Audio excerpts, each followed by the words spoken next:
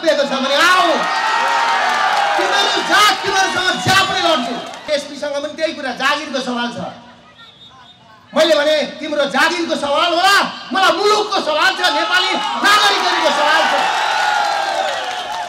मैले भने त्यही भने र आज तपाईँलाई त्यति मात्रै होइन सबैजना यहाँबाट दिल्ली पाउ टेक्दै जान्छन् ठुलो आमा पनि हुनुहुन्छ मलाई हिजो बच्चामा हुर्काउने मेरो आमा पनि हुनुहुन्छ यहाँ।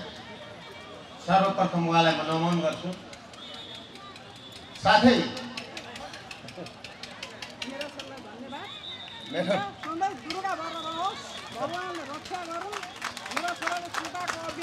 होस् कसै बाह्य शत्रुले हेर्न नसकुन् मेरो छोरालाई जय जय हस् धन्यवाद प्रधानमन्त्री बन्ने आशीर्वाद दिनुहोस् अन्य प्रधानमन्त्री बन्ने आशीर्वाद उपस्थित सम्पूर्ण इनरुवावासी मोरङवासी झापाबाट आउनुभएका र काठमाडौँबाट पाल्नुभएका सम्पूर्ण मैले मान्नुपर्ने मान्यजनहरू साथै पत्रकार मित्रहरू सुरक्षाकर्मी साथीहरू इन्सपेक्टर सा साथी हुनुहुँदो रहेछ मेरो भाइ सम्पूर्णलाई मेरो व्यक्तिगत तर्फबाट हाम्रो संस्थाको तर्फबाट हाम्रो अभियानको तर्फबाट म नमस्कार भन्न चाहन्छु।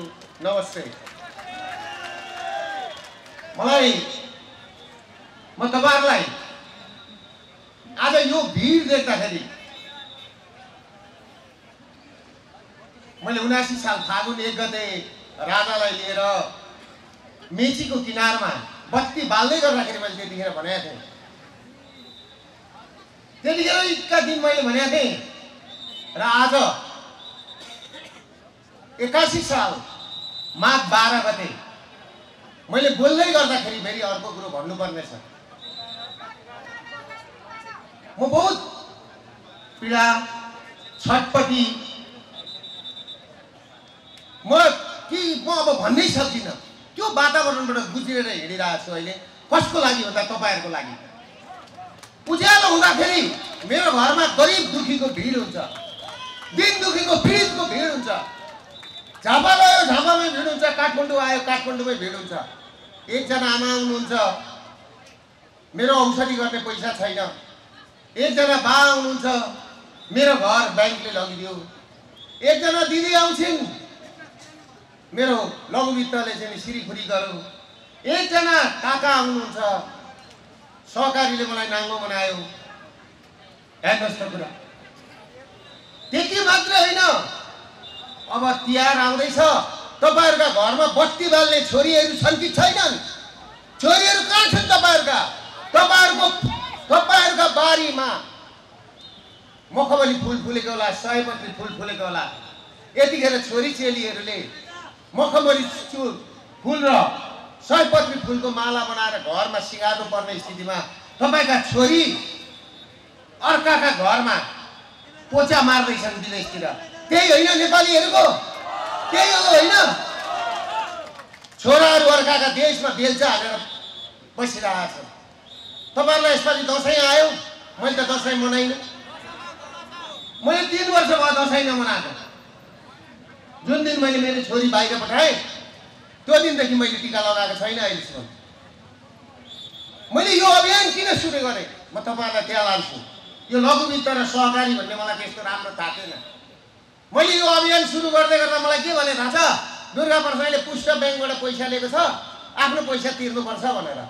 त आज अढाई वर्ष भयो मैले यो अभियान थालेको मलाई ब्याङ्कले किन ब्ल्याकलिस्टमा राख्न सक्दैन? किन सक्दैन? नेपालमा सबैभन्दा नेपालीहरूमा सक्सेसफुल बिजनेसम्यान दुर्गा प्रसाई हो। आज पनि सालको तपाईँहरूलाई भन्छु पचास करोड रुपियाँ पैसा कमाउने मान्छे हो म। तर तपाईँहरूको अगाडि यो सबै कुरा त्यागेर म घर परिवार सबै त्यागेर यो पहेँला लुगा लगाएर म हिँड्न थालेको छु। सबै त्यागिसकेँ मैले। किनभने मैले यो अभियान किन सुरु गरेको भन्दाखेरि हिजो मैले यो अभियान सुरु गर्नुभन्दा अगाडि यो बजारमा सत्र पर्सेन्ट ब्याज थियो ठिक थिएन?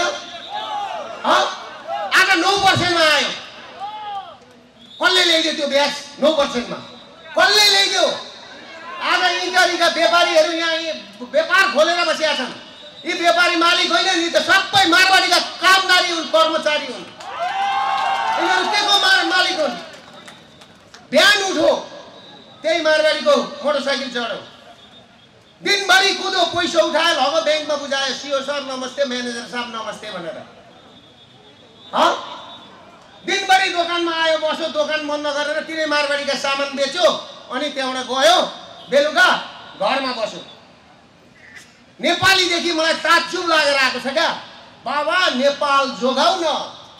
नेपाल जोगाउ नेपाली जोगाउ नेपाल बन नेपाली बन भनेर मैले भनेको। मैले त्यो भन्दाखेरि दुर्गा पर्साई माफिया भनेर भने फेरि। म आज मेची अञ्चलमा पाँच हजार मान्छेलाई रोजगार दिने मान्छे मै हुँ। चौध करोड महिनाको तलब खुवाउने मान्छे पनि मै हुँ। मै हुँ। अहिले खुवाइरहेको छु। म भिख मगाएको सन्तान होइन। मलाई यो देशको किन माया लाग्यो म तपाईँलाई अलिकति लान्छु पृथ्वीनारायण शाहले जतिखेर किर्तिपुर जि कान्तिपुर जि किर्तिपुर जिते त्यस पछाडि कान्तिपुरको हमला गर्ने बेलामा पृथ्वीनारायण शाहलाई ब्रिटिसहरू जय त्यो जयस्थिति मल्लले ब्रिटिस सेना बोलाए कान्तिपुर हान्छ भनेर। त्यतिखेर पृथ्वीनारायण शाहसँग खर्च थिएन पैसा थिएन। त्यतिखेर मेरो जिजु स्वर्गीय रामचन्द्र प्रसाईलाई मेरा नौ पुस्ताका स्वर्गीय रामचन्द्र प्रसाईलाई पृथ्वीनारायण शाहले चिठी लेखेर दुई हजार रुपियाँमा आएको त्यतिखेर र दुई हजार रुपियाँ मात्रै होइन पच्चिस सय रुपियाँ पैसा मेरो जिजुले तपाईँको पृथ्वीनारायण शाहलाई दिएर सिन्धुली माडीको लडाइँमा क्याप्टन किल्लोकको नेतृत्वमा आएको सोह्र सय सेना मार्ने मेरो जिजु र स्वर्गीय राम कुँवर हुन्। त्यतिखेर तपाईँको चाहिँ किर्तिपुर कान्तिपुरबाट किर्तिपुरबाट पठाएको। इतिहास हेर्नुहोस्। र त्यो त्यो नाता छ मलाई देश जोगाउने नाता। म बाध्यतामा परेको छु। मलाई त्यो रगतले घरिघरि घचघच्याउँछ मेरो जिजुको रगतले। म देश बेच्नेको सन्तान होइन। मैले तपाईँलाई भन्दैछु लघुभित्रको छटपट्टिले तिनजना चेलीहरू चाहिँ एउटै रुखको हाँगामा जब झापामा झुन्डिएर मरे यो लघुवित्त र सहकारी भनेको के हो भनेर मैले राम्रोसँगले बुझेँ। ए यसले त लघुवित्त र सहकारी हिजो गाउँमा धनी गरिबलाई धनी बनाउन भनेर पसेको हो कि होइन? हो कि होइन भन्नुहोस् त। यसले त सबै सर्वनाश गरेको छ। घरका सिरक पनि लगाएको छ ढसेला पनि लगाएको छ बाख्राका पाठा सुँगुरका पाठा भाँडा कुँडा त्यही लगे होइन तपाईँहरूको? त्यही लगे होइन समूह समूह बनाएर मान्छेलाई जालभित्र हालेर? यसको अन्त्य गर्नुपर्छ भनेर मलाई आएको। आज प्रेम आचार्य जस्तो मान्छेले संसद भवन अगाडि शरीरमा पेट्रोल खनाएर आत्मदाह गर्नु पर्यो। बाबा म बाँच्छु म गरी खान्छु। एउटा युवाले शरीरमा पेट्रोल खनाएर आगो लगाउँदाखेरि तपाईँहरूलाई अझ मजा भएको छ त्यति मात्रै होइन मेरो छोरीले एमडीमा नाम निकालिन्। जब नाम निकालेपछि यो देशमा पढाउन नपाएपछि मैले छोरीलाई एयरपोर्टबाट बिदा गर्दै गर्दा मैले मेरो छोरी रोएको देखेको छु। त्यतिखेर म रो म रोएको छु। मैले त्यतिखेर प्रण गरेको छु। मेरो श्री सम्पत्ति सक्छु तर यो गणतन्त्र भन्ने र यो केपी ओली प्रचण्डहरू सेना जस्ता कुख्यात अपराधीहरूलाई यहाँबाट लखेर्छु भनेर म लागेको। म लागेको म त्यत्तिकै हिँडेको होइन। मैले बोलेका कुरा आज आजभन्दा दस वर्ष अगाडि बोलेका कुरा आज ट्याक ट्याकी पुगेका छन् कि छैनन् भन्नुहोस् त। मैले के भने यो देश यहाँ माडवाडी भन्दाखेरि मैले सुने यहाँ यहाँको सिडिओ। यहाँको सिडिओको कुरा पनि सुने। यिनीहरू सिडिओसँग मेरो डिस्कस भयो? होइन मेरो जागिरको सवाल छ। यो इनोभाको एसपीसँग पनि त्यही कुरा जागिरको सवाल छ। मैले भने तिम्रो जागिरको सवाल होला मलाई मुलुकको सवाल छ नेपाली नागरिकहरूको सवाल छ। मैले भने त्यही भने। र आज तपाईँलाई त्यति मात्रै होइन सबैजना यहाँबाट दिल्ली पाउटे त्यही जान्छन्। यो देश दिल्लीले चलाएको देश हो तपाईँहरूलाई क्लियर भनिदिन्छु। यो देश दिल्लीले चलाएको देश हो तपाईँहरू भ्रममा नपर्नुहोस्। त्यही दिल्लीको दिल्ली युनिभर्सिटीको चेयरम्यान राजनीतिक शास्त्रको चेयरम्यान होइन? उहाँलाई मैले आफै बोलाएँ। र आउनुहोस् तपाईँ एकपल्ट हाम्रो सभामा उपस्थित भइदिनुहोस्। तपाईँले त्यो सभामा उपस्थित भइदिनु भने एउटा मेसेज जान्छ भनेर चाहिँ नि उहाँ आउनु भएको थियो। उहाँलाई राति होटलमा एघार बजी राति गएर बिर्तामोडको डिएसपीले गएर के भन्यो भने तपाईँ त्यहाँको सभामा जानुभयो भने तपाईँलाई हामीले थुन्नुपर्छ हेर्नुहोस्। अतिथि देवो भव। के हो अतिथि देवो भव? हिन्दू कल्चर। एउटा पाहुना आएको मान्छे। मैले पहिला एकपल्ट राजकुमारलाई पनि ल्याएको थिएँ नि तपाईँहरूलाई थाहा छ नि। ल्याएको थियो होइन? त एकजना पाहुना आएर तपाईँ हामीलाई दुई शब्द राखिदिन्छु भनेर भन्दाखेरि के बिग्रेको थियो? भारत र हाम्रो सम्बन्ध भनेको म तपाईँलाई यहीँबाट भन्छु। भारतीय खण्ड उत्तर पनि के भन्दै नेपाल खण्ड हिमवत पर्वत भन्छ नि यहाँ सबै भगवान्हरूले बास गरेको ठाउँ हो भगवान्हरूले टेकेको ठाउँ हो। यहाँबाट गएको हिम श्रृङ्खलाबाट बगेर गएको पानी त्यो भगवान्हरूले टेकेको पैतालाबाट गएको हुनाले तल भारतमा पुगेपछि गङ्गा बन्छ। त्यही गङ्गामा भारतीयहरूले स्नान गर्छन् नुहाउँछन्। भारतको र नेपालको सम्बन्ध के हो भनेदेखि रोटी बेटीको मात्रै सम्बन्ध होइन। हाम्री छोरी सीता भगवान् रामचन्द्रले बिहा गरेको त्यो सम्बन्ध हो हाम्रो। यिनीहरू जहिले कुर्सीमा बस्ने कहिले भारत भारतसँग जाने अनि सबै कुरा लिने अनि भारतले दिन छोडेपछि चाइना जाने चाइनासँग लिने अहिले अमेरिकासँग लिँदैछन्। अनि बिआरआई पनि पास गर्ने भारतलाई के भन्छ बिआरआई पास गरौँ भन्दैछ केपी ओली। गर। पास गरिहाल। एमसिसी पास गरे। हेर्नुहोस्। एमसिसी एमसिसी भनेको के हो? एमसिसी भनेको अमेरिकाको अफगाई अफगानिस्तान बनाउने पहिलो पाइलो हो नेपाललाई। नेपाललाई। र भोलि एमसिसी र बिआरआईको कारणले यहाँ धेरै ठुलो लडाइँ हुन्छ ठुला ठुला छेपेत्र झर्छन् अनि यहाँ हातले समाउँदा त छेप्यासहरू रोकिँदैन होला। रोकिन्छ? भनेपछि हेर्नुहोस् यो कुरो गऱ्यो भने ताजुब लागेर आउँछ क्या। मान्छे नभएका देशमा रेल ल्याइदिएको छ। जम्मा एक रेल मान्छे छैनन् चढ्ने। युवा जति जम्मै बाहिर पठाएको छ। रेल ल्याएर छोपेर रेलको कहानी म तपाईँहरूलाई भन्दैछु यो रेल बनाउनलाई सालको सात अरब बजेट छुट्याएको छ। यो रेल बनाउनलाई बाइस खरब चाहिँदो रहेछ। यो हिसाबले बजेट छुट्याउँदाखेरि दुई सय पचास वर्ष लाग्दो रहेछ। दुई सय पचास वर्ष।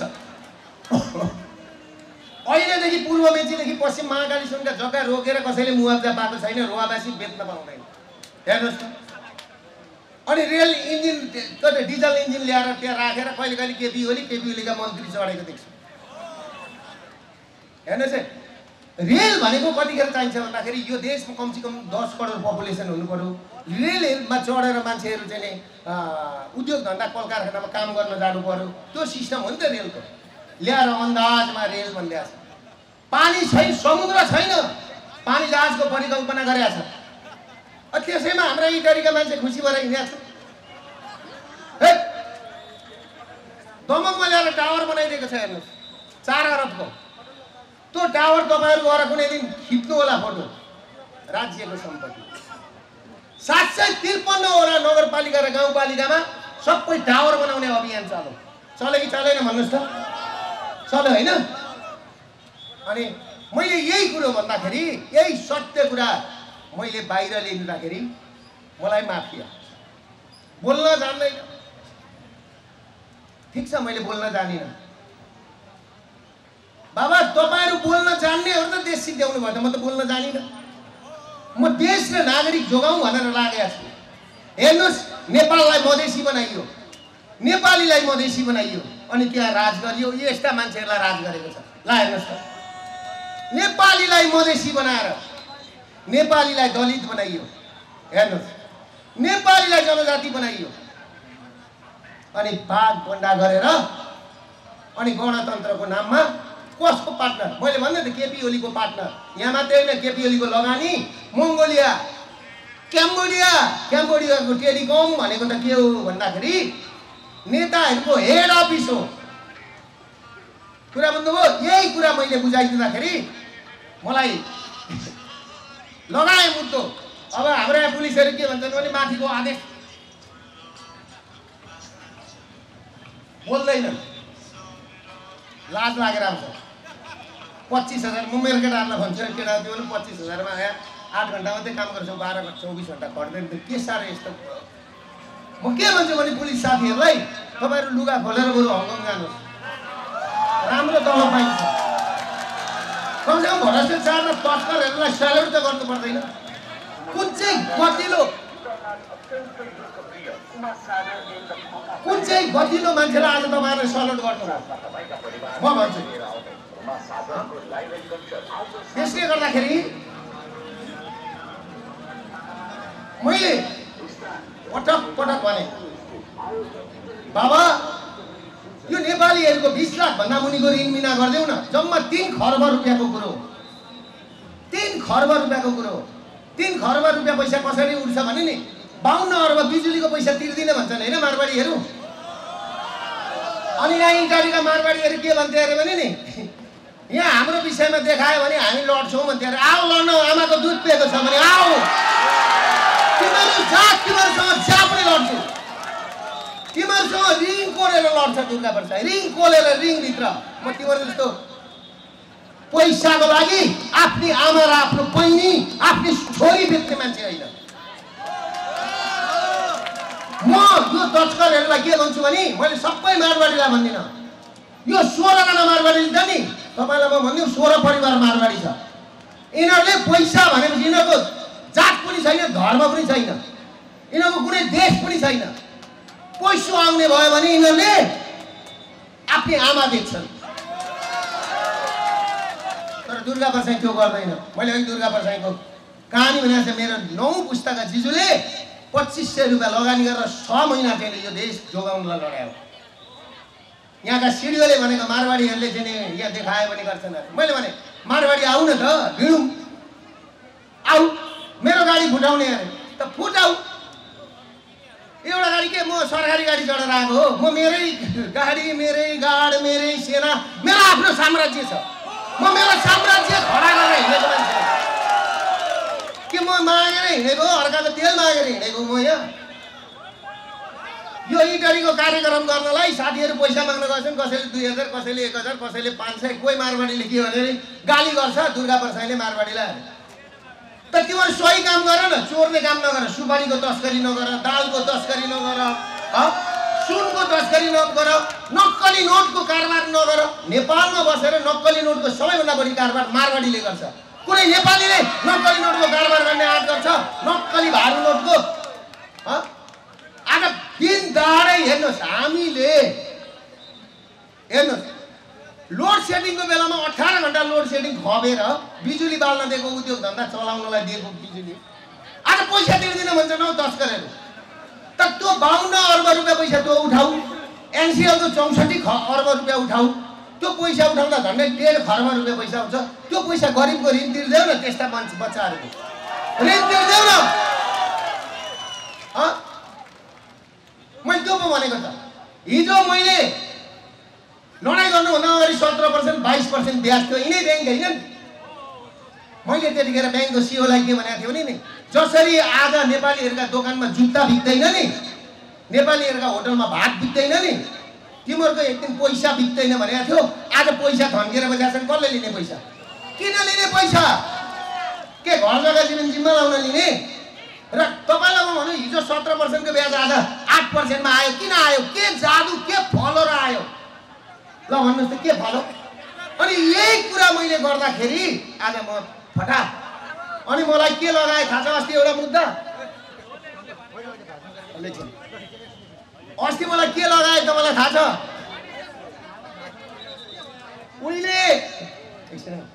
उहिले तपाईँको के छ भन्दाखेरि कृष्ण जन्मिने बेलामा कंसले के गरेछन् आमा बुवालाई लगेर देवकी र वासुकीलाई वासुदेवलाई लगेर जेलमा हाल्यो?